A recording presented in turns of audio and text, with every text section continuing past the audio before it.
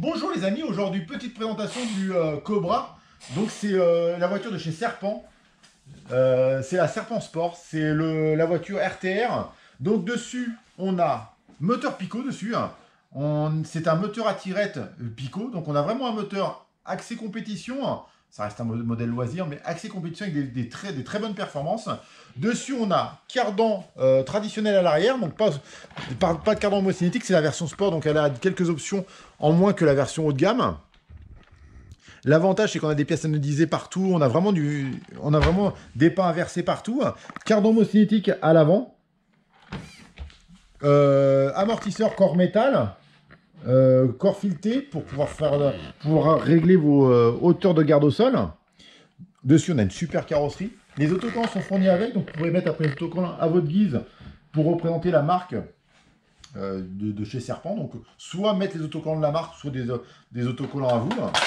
Donc, dessus, on a dès le départ deux cerveaux en 10 kg pignon métal, 10, 10 kg 5. Donc, ça nous permet d'avoir un bon freinage dès le départ. On a un système avec euh, pour les répartitions des masses le plus basse possible. Donc ils ont euh, couché le cerveau de gaz.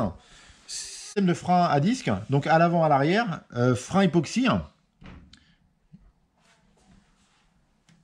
dessus, sur le picot, on a une ligne d'échappement inline. Alors le confort de la ligne d'échappement inline, c'est qu'en fait, si on a une durite ici, l'accord d'échappement, de, ça, ça, se passe comme une vraie, une vraie voiture, une vraie moto, une vraie moto.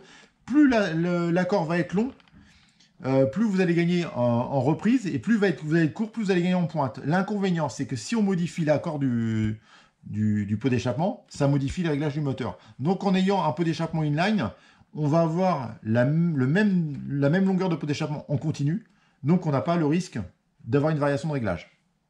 Donc ça, c'est un super confort. Euh, donc toute la partie radio est étanche, avec euh, interrupteur sur silicone pour être étanche. Les cerveaux résistent à l'humidité. C'est pas des, cerveaux 100% euh, étanches, je crois, hein, sur ce modèle-là. Donc on va faire la première mise en route ensemble. Dessus, on a une petite radio volant, donc le basique, la radio volant. Euh, dessus, sur radio de Giga 4 évidemment. On a le strict minimum, ça veut dire les réglages de débattement maxi, hein, les trims de correction, les inverseurs de sens de rotation. Toute première mise en route, on allume le véhicule, on allume la radio, le véhicule, on vérifie droite-droite, gauche-gauche, accélération, frein, si ça fonctionne bien, de façon que lors de votre première utilisation, que la voiture parte pas euh, plein gaz, au lieu de freiner, bah, elle parte plein gaz ou inversement. Vous voulez tourner à droite, elle va à gauche et vous vous mettez dans le premier arbre qui arrive. Donc la première mise en route se passe comme ça. On va mettre un peu d'essence dedans.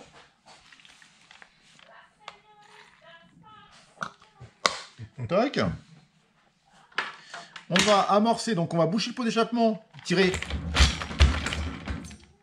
je vais tirer la bougie un tout petit peu parce que...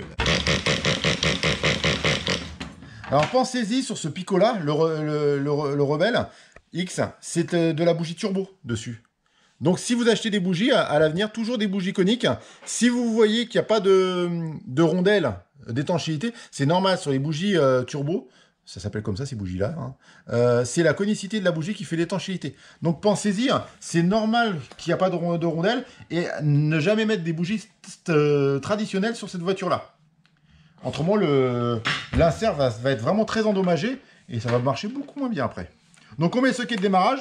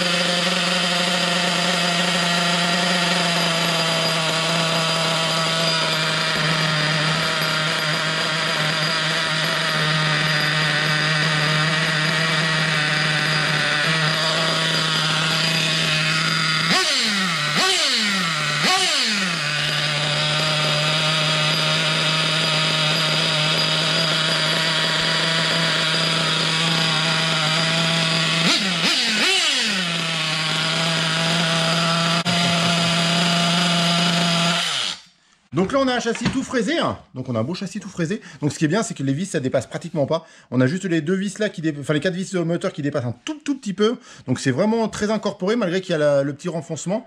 Donc elle est vraiment très bien faite, les vis de la voiture. Hein. Donc après, au niveau réglage, on a les réglages de butée haute pour régler sa garde au sol, pour la garde au sol, euh, pour la, garde au sol euh, mini. Et après, on a tous les réglages habituels de carrossage, de pincement et de carrossage qui vont pouvoir se régler à l'avenir sur ce véhicule-là. Donc une voiture très bien finie par, euh, par Serpent.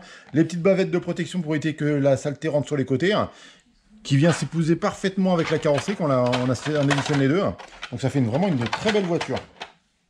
Ouais, on voit c'est bien, bien, bien caréné, donc la poussière, ça limite l'entrée de la poussière au maximum. Donc j'ai réglé un tout petit peu le moteur, j'ai refermé à la reprise un tout petit peu et j'ai rouvert à la pointe pour avoir un, bas moteur bien réglé dès le départ et le haut du moteur un peu gras là à l'heure actuelle. Là il est un peu gras à mon avis. à l'avenir on le refermera, mais le bas moteur à mon avis il n'y a plus besoin d'y toucher maintenant. Pensez à toujours avoir le filtre air bien propre. Donc la première mousse, ça se nettoie, on peut la nettoyer. La deuxième mousse se nettoie jamais. Si elle est sale, on la huile. Une fois qu'elle est sale, on la jette et on rachète une mousse complète. On va faire un essai routier maintenant.